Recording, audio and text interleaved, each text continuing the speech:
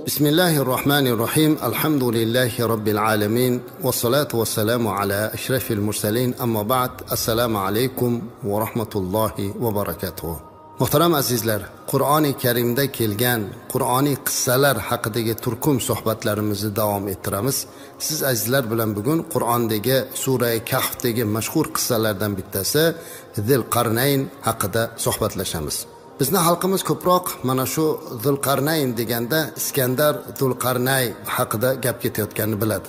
Ba'zilari esa buni aleksandr makedonskiy bilan almashtirib bular bittadur degan qovullarni aytadiganlar bor. Albatta biz suhbatimizni oxirida bular haqida ham ma'lumot berishlikka harakat qilamiz. Ammo biz bugun o'sha qur'onda kelgan aniq zilqarnayn haqidagi qissaga to'xtamoqchimiz. Zulqarnayn degani azizlar bu arab tilida zu yoki zi deb keladi. Bu ega degan ma'noni berib ikki qorin. Qorin degani bu hayvonlar boshidan chiqqan shoxga ham aytiladi. Yoki bo'lmasa buni ayni shox emas balki davr asr yoki biror bir narsani eng yuqori qismi degan ma'nolarni berganlar ham bor. Shuning uchun ham bu yerda ham aniq bir to'xtamda zulqarnayn deganda aytaylik uni boshidan ikkita shoxi bor bir odamni tasavvur qilmaslik kerak.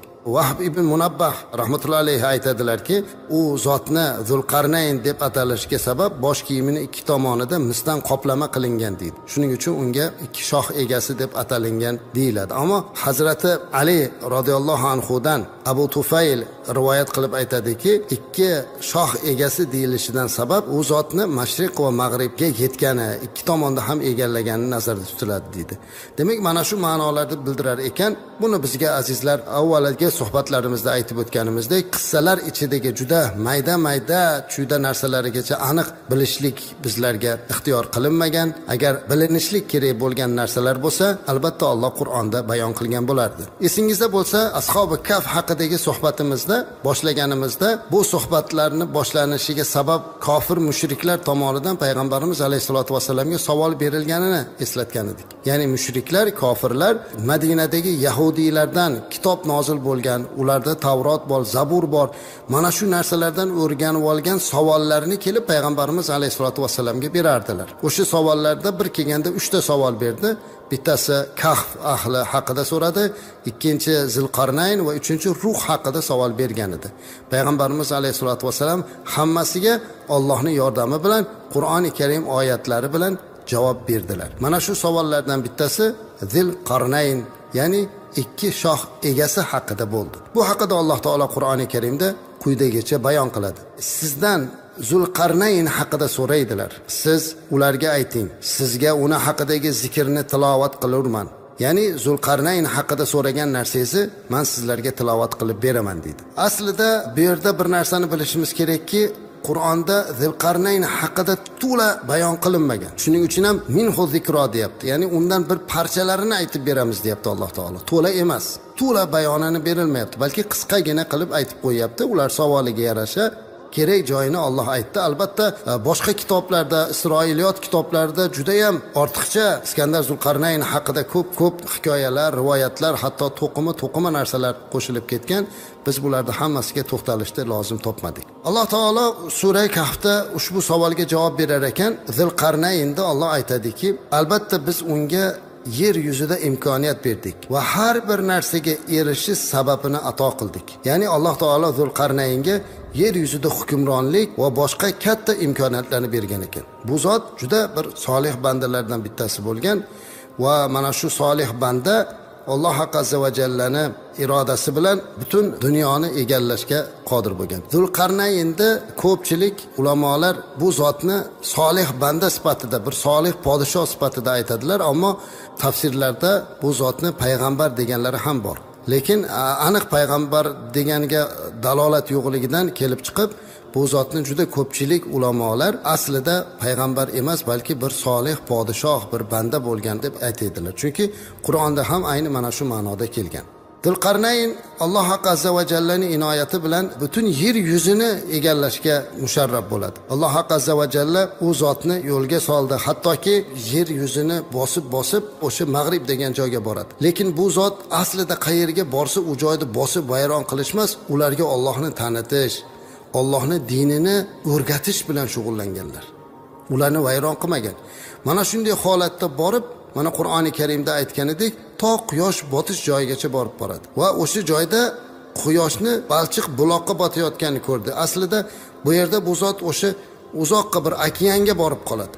Borganda qarasaki o'sha quyosh mundoq qilib suvga botib ketyapti. Agar ko'z oldingizga katta bir dengizni yoki okeanni keltirsangiz azizlar o'sha quyosh botayotganini ko'rsangiz xuddi quyosh go'yoki o'sha suvni ichiga kirib ketganga o'xshaydi.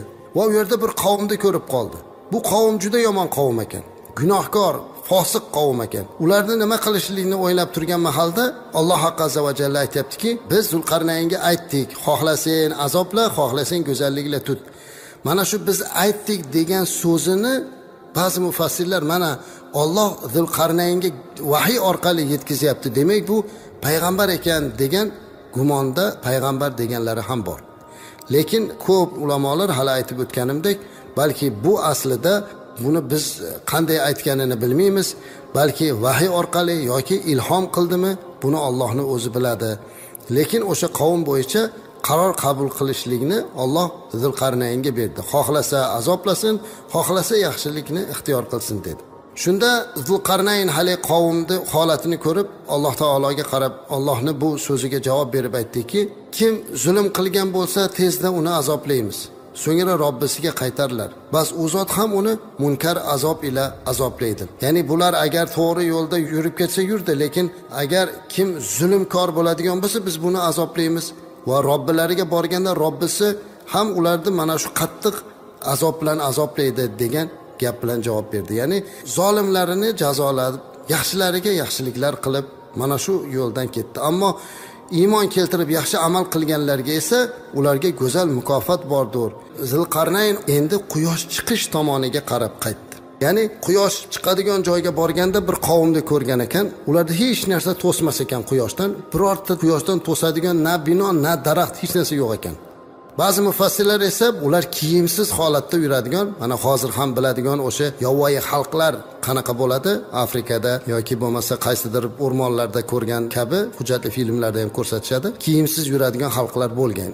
Keyin alloh taolo yana xabar qilib aytyaptiki ana shunday batahqiq biz uni oldidagi narsani xabarini ihota qildik debdi. Ya'ni xuddi mag'ribdagi haq so'zlari va ishlar mashriqda ham joriy qilindi. Zulqarnayn mag'ribda ham hukmronlik qilgandek mashriqda ham hukmronlik qildi.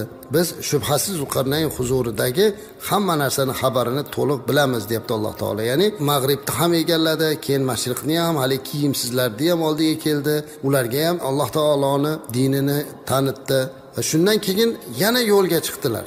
Ikkita tog'ni orasiga borib qoldi. Mana shu ikkita tog'ni orasiga borganda bir qavmni uchratdi. Bu qavmni umuman gapini tushunib bo'lmas edi ular ham gunohkor xalq ekan o'zi fosiq fojir bo'lgan xalq lekin tillarini hech kim tushunmaydi. Hatto ularni mana tafsirlarda kelib bir nechta tilmoch bilan ham tilini tushunmaydigan bir qavm chiqib qoldi. O'sha qavmni oldilariga keldi. U qavm ko'rdiki iskandar zulqarnayn nihoyatda mahobatli juda baquvvat juda katta askarga ega. Haligi tilini tushunmaydigan xalq narigi tomonida yana bitta xalq bor edi. Bular yajuj va majuj ekan. U yajuj majuj bulardan ham yomon. Ular shunaqa bir fosiq ekanki yer yuzida buzg'unchilik qiladigan bir xalq bo'lgan. Ular shu olomon qilib chiqib haligi tilini tushunmayotgan xalqni butun qirg'in barot qilib ularga zulm sitam qiladigan bir xalq bor ekan. Narigi toni bu tomonidagilar zulqarnaynga iltimos qilib aytishdiki ey zulqarnayn albatta yajuj va majuj yer yuzida buzg'unchilik qiluvchidir. Biz senga haroj bersak dedi ya'ni bir pul bersak mablag' yig'ib bersak biz bilan ularni orasini bir to'siq qilib mana shu joyni to'sib bersin deb iltimos qildi. Yajuj majuj degani ham juda chuqur ma'no. Inshaalloh yajuj majuj haqida bir alohida qissasini gapirib o'tamiz sizlar bilan. Haligi xalq demak biz pul yig'ib beramiz haroj beramiz.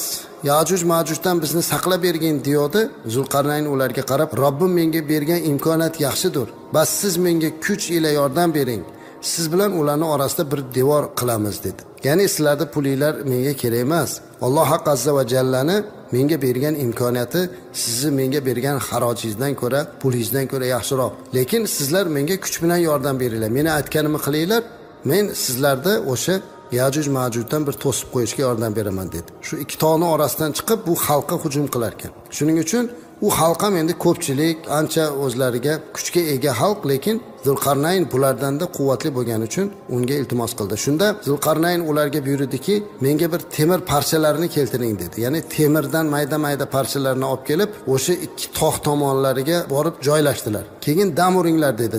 Pastidan o't yoqib e, xuddi haligi temirchilar dam urgandaqa unga dam urdi. Qattiq qizdirilgandan keyin temir o'tga aylandi. Temirchini tasavvur qilsangiz xuddi bir temirni qo'yib qizdirsa u o'tga aylanib ketadi. Hatto suyuq bo'lib oqadigan darajaga keladi. Keyin olib kelinglar dedida uni u yerga quyib ustidan mis quyamiz dedi. Keyin misni eritib haligi temirni ustidan misni ham quyib yubordi. Natijada temir bilan mis aralashmasi juda mustahkam va silliq bo'ldi. Yajuj majuj xalqi uni kelib teshaman desa tesholmaydi chiqaman desa siyg'anib chiqa olmaydi. Mana shunday holatda haligini to'sib qo'yganidan keyin endi zulqarnayn ularga qarab mana men to'sib qo'ydim ko'rdinglarmi? Men qancha kuchliman demadida balki o'sha holatda ham ollohni esladi. U shunday dediki bu robbimning rahmatidandir. Agar robbimni va'dasi kelsa buni yer barobar qilur. Robbimni va'dasi haqdir dedi. Ya'ni bu sizlarni yojuj majuddan devor to'sishimiz bu ollohni rahmati. Lekin ollohni va'dasi keladi o'sha kuni bu devor yiqiladi va albatta yajuj majuj bu yerdan chiqadi. Ya'ni zulqarnayn mana shu bilan yajuj majudni to'sib qo'ydi va bu to qiyomatgacha o'sha joyda to'silib turishligini aytdi. Haligi qavm yajuj majujdan panoh topdi. Endi yajuj majuj to qiyomatgacha bu yerdan chiqa olmaydi. Qachon qiyomat bo'lganda iskandar zulqarnayn to'sgan sad devor yiqilib yajuj bu yerdan chiqarkan. Yajuj majuj ham bir maxluq emas ular ham bir xalq deydi azizlar. Faqat juda yomon xalq o'ta ko'p hamma narsani yeb bitiradigan darajada. Inshaalloh yajuj majuj haqida alohida gapiramiz. Buni haqida ham juda to'qima narsalar ko'payib ketgan. Imkon qadar to'qimalardan o'zimizni olib qochyapmiz. Lekin bu yerda asosiy maqsad azizlar zulqarnayn shunday bir solih banda bo'lganligi allohni yordami bilan ko'pchilikka yordam berib yajuj majuddan hammani saqlaganligi to'g'risidagi qissani olloh bayon qilgan. Endi azizlar juda ko'pchilik mana hozirgacha ham savollar beriladi. Mana shu iskandar zulqarnayn bilan aleksandr makedonskiyda bitta odam bo'lgan deydigan gaplar ham bor. Ikkalasi aslida bittami? Hozir mana aytganimizdek bu aytaylik zulqarnayn bu solih banda bo'lgan. Bu zot ibn kasirni tafsirida keladi azraqiy va boshqalar aytishadi. E, zulqarnayn ibrohim alayhissalom davrlarida yashaganlar va u kishi bilan baytullohni taof qilgan uning vaziri xizr alayhissalom bo'lgan deydi. Ammo ikkinchi zulqarnayn esa bu yunonistonlik filipni o'g'li iskandar bo'lgan u miloddan avval uchinchi asrda yashagan. Aleksandr makedonskiy musulmon bo'lmagan azizlar. Uni hamma tarixchilar tasdiqlaydilar. U e, mushrik bo'lgan fosiq bo'lgan qancha qancha qabohat ishlarni qilgan. Lekin hozirgi yuqoridagi qissada o'zingiz eshitganingizdek zulqarnayn esa solih banda bo'lgan ollohni dinini yoyishlikka harakat qilgan. Hatto ba'zi mufassirlarning qovullariga qaraganda payg'ambarlikka ham gumon qilingan deyilyapti. Shuning uchun xulosa shuki azizlar qur'onda nomi kelgan solih banda zulqarnayn va aleksandr makedonskiy boshqa boshqa kishilardir. Bular ikki xil shaxs hisoblanadi. Mana shu narsani yaxshi bilib olishimiz kerak. Bu qissalarni man yuqorida aytib o'tganimdek o'rganishligimizdan birdan bir maqsad bu qissadan o'zimizga xulosa olishlik. Ya'ni kim bo'lishidan qat'iy nazar albatta u butun dunyoni xoqoni bo'lsin butun olamni egallagan bo'lsin baribir bir kuni olamdan o'tadi azizlar. Iskandar zulqarnayn mag'rib va mashriqni egallagan bo'lsalarda butun olamni egallagan butun dunyo butun yer yuzini podshohi bo'lgan bo'lsalarda baribir bu dunyodan quruq qo'l bilan ketdi. Hammamiz ham mana shunday bo'lamiz. Shuning uchun o'zimizga yaxshi bir xulosa olib yaxshisi u dunyoga olib ketadigan toat ibodat yaxshi fazilatli amallarni ko'paytirmoqligimiz lozim. Assalomu alaykum va rahmatullohi va barakatuh.